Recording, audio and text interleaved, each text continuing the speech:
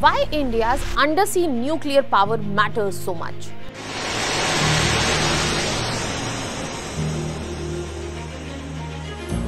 Where the K4 missile test leaves India in terms of nuclear deterrence, and how this changes the SSBN scenario in India.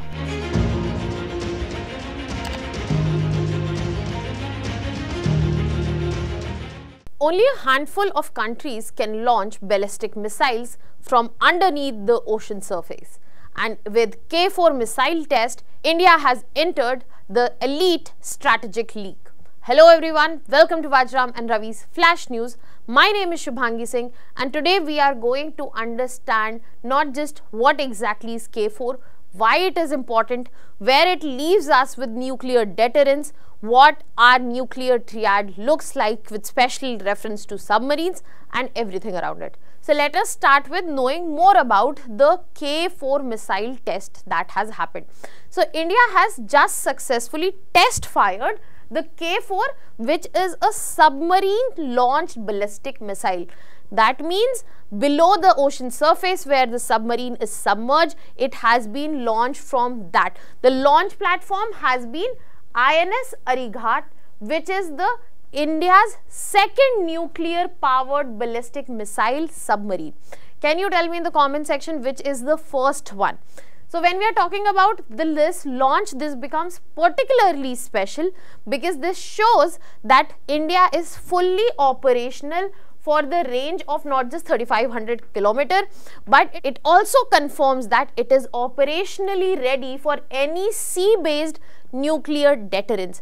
It is not just capable of managing a first strike but handling the second strike as well. And this comes at a very important strategic time where not just escalation but there is high intensity in terms of strategic upliftment not just in Asia but across Indo-Pacific and not only there but globe as well. Now, so in this context, let us start with understanding that what exactly is this K4 missile. So, when we are talking about this particular missile, this is a nuclear capable, but it is a submarine launched ballistic missile. And when we are talking about submarine launch base ballistic missile, that means India has the capability to strike from beneath the ocean as well, where a nuclear power head can be delivered. This has been developed by Defense Research and Development Organization DRDO. Recently, DRDO also got the applaud for testing Akash NG. You can go and learn about that in detail in the video. I have already covered that. When we are talking about this ballistic missile that is K4, this is heavily derived from another variant of Agni that is Agni the third. But this one has been heavily redesigned and this has been made optimized for underwater cold launch operations. That means the submarine will not even come to the surface when it is launched.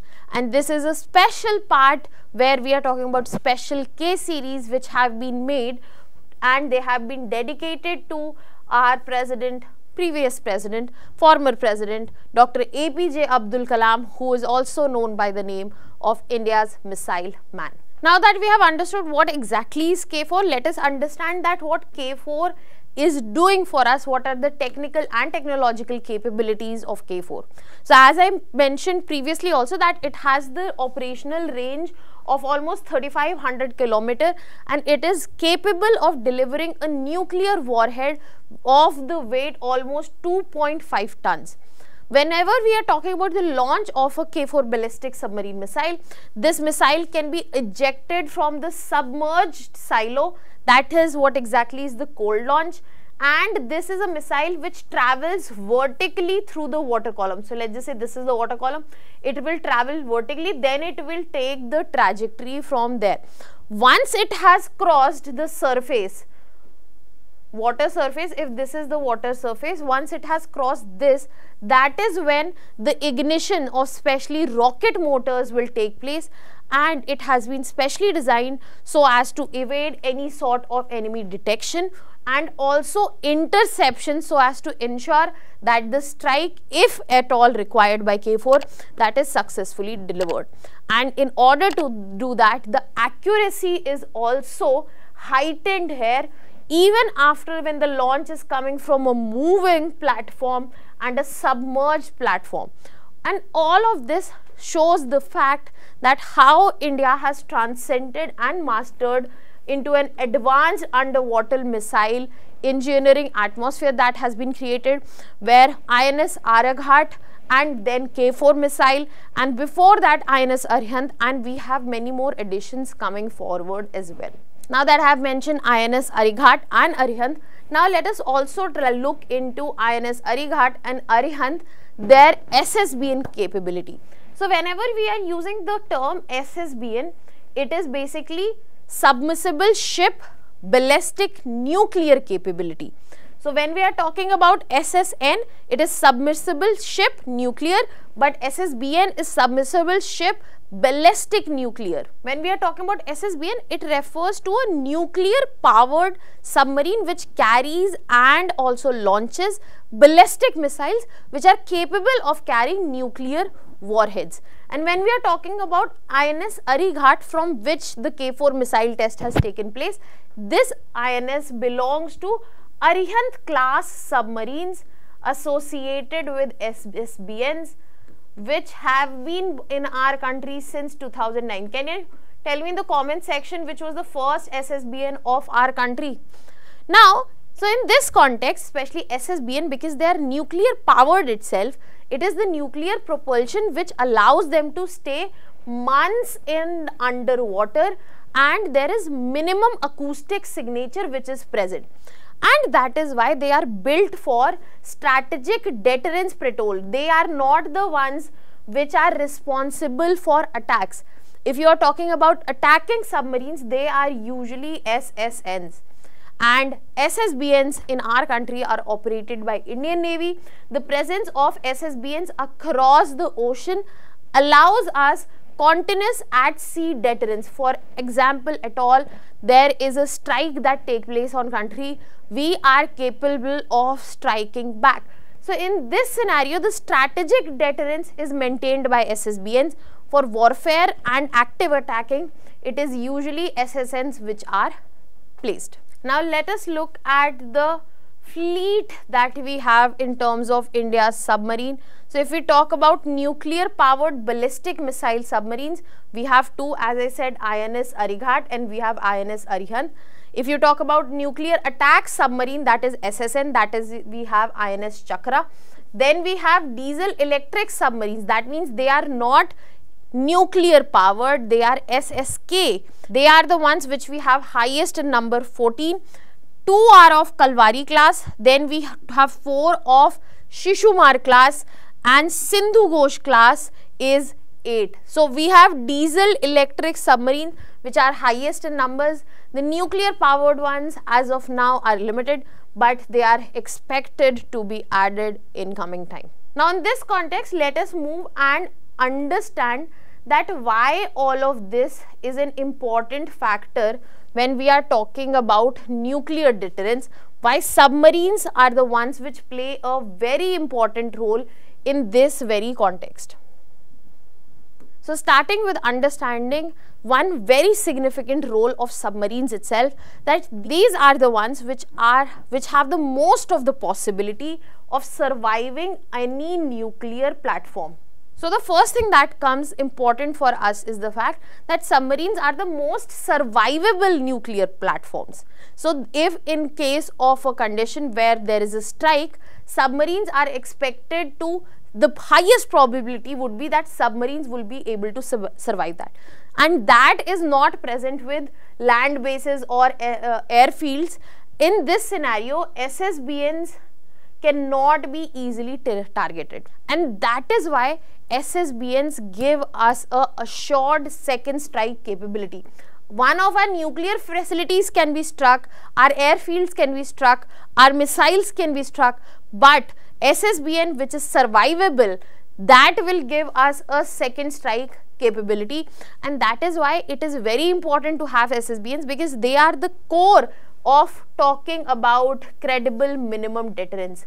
We are working on our nuclear capabilities, the deterrence, the production only to ensure minimum credible deterrence that we have enough to keep you away. You should not come and fight with us.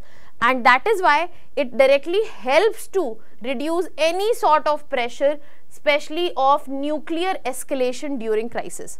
So there is a very simple strategic logic to it that deterrence is very important and it will work only best if it is not stationed at one place. If it is at petrol, it is moving, that is when deterrence will function and now this gives us a very simple strategic, this comes with this very simple strategic logic that deterrence is only applic applicable. You are saying ki we will make sure that this not happens. It will only happen when there is some fear to it. How will you make create the fear? You will create the fear by ensuring that your strike is guaranteed.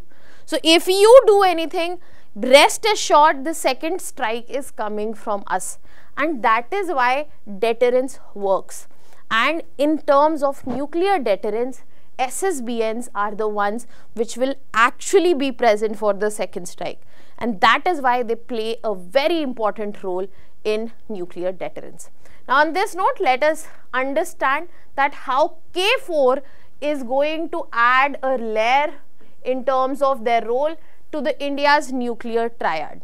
So when we are talking about India as a country, it basically as of now operates a fully functional nuclear triad. That means we are capable of land-based ballistic missiles, we have air-delivered nuclear weapons and we also have sea-based SLBMs.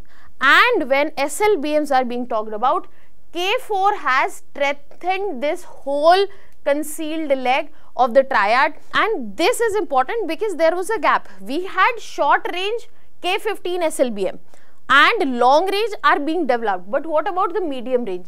So this is where K4 comes into the picture and this shows that we are enabled, we are there. There is a graduated and flexible nuclear response option that we have that we can use at our need and to also maintain the deterrence. And as I was saying that this makes India enter an elite club where already US, Russia, China, France and United Kingdom are stationed. Unlike some powers, India as we know maintains a no first use posture. In this situation also, K4 and it, its presence ensures that especially countries like China and Pakistan deterrence against them is ensured.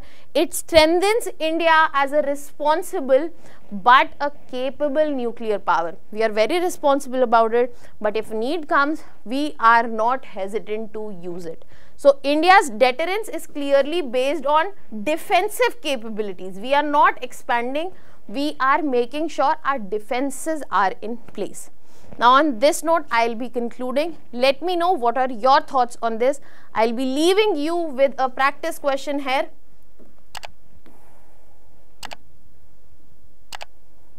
You can put down your answers in the comment section. The correct answer of the previous video here is A. That was all from my side. Thank you so much.